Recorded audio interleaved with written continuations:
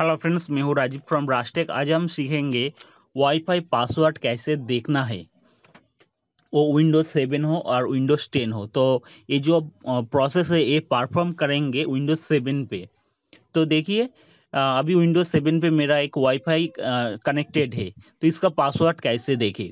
अगर ऐसा सिचुएशन आपको लाइफ में होगा ही होगा काम पे आपने जाने के बाद आपको आपको वाईफाई का पासवर्ड ज़रूरत पड़ने से वाईफाई का ओनर है, वो आपका लैपटॉप में खुद से दे दिया।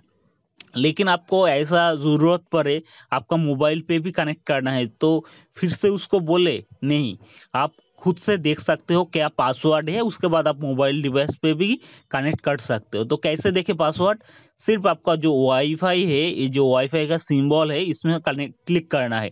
आपका सिस्टम वाई विंडोज़ सेवन हो विंडोज़ टेन हो, कोई भी वर्सन का हो सेम प्रोसेस है। आप इसमें क्लिक कीजिए। करने के बाद ये जो वाईफाई आपको दिखाएगा कनेक्टेड है, उसके ऊपर राइट क्लिक कीजिए, उसके बाद स्टेटस स्टेटस में जाइए, देखिए, आपका जो इधर है वाईफाई प्रॉपर्टीज़ इसमें क्लिक करना है।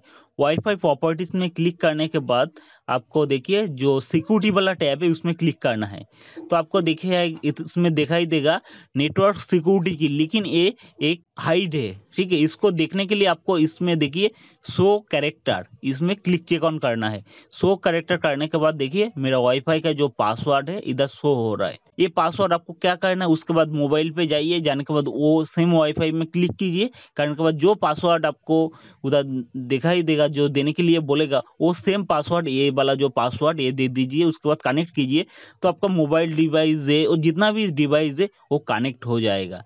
सो so फ्रेंड्स आज हमने देखा कैसे वाईफाई का पासवर्ड देखना है आ, वो कनेक्टेड डिवाइस से। तो अगर आपको ये ट्यूटोरियल अच्छा लगे लाइक कर दीजिए शेयर कर दीजिए। Thank you for watching